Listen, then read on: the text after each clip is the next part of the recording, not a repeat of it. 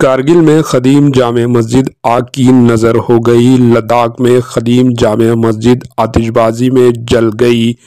आतिशबाजी के नतीजे, मस्जिद हनफिया पूरी तरह तबाह बर्बाद हो गई। आज हुए अफसोसनाक वाक़े में मस्जिद आग की लपेटों से गहर गई।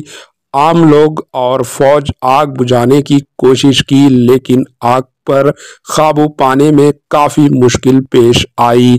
बताया गया है कि ये मस्जिद तकरीबन नब्बे फ़ीसद जल चुकी है, लेकिन नुकसान को कम करने की कोशिश की जा रही है। पेश है इस खसूस की कुछ झलकियाँ। Bureau report, H news.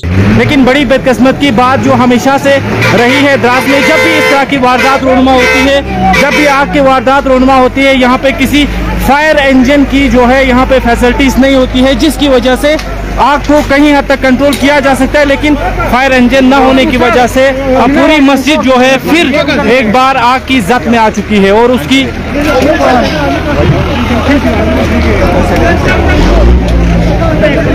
उसकी तस्वीरें हम आप तक पहुँचाने की कोशिश कर रहे हैं और डिस्ट्रिक्ट एडमिनिस्ट्रेशन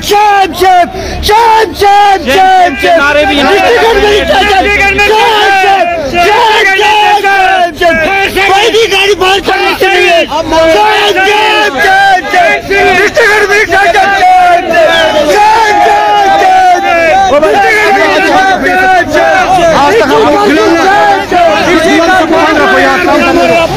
कोई सोर्सेस नहीं है जिसकी वजह से मसीह शरीफ को जो है पानी वगैरह पहुँचाया जाए और ये आग बुझाया जाए।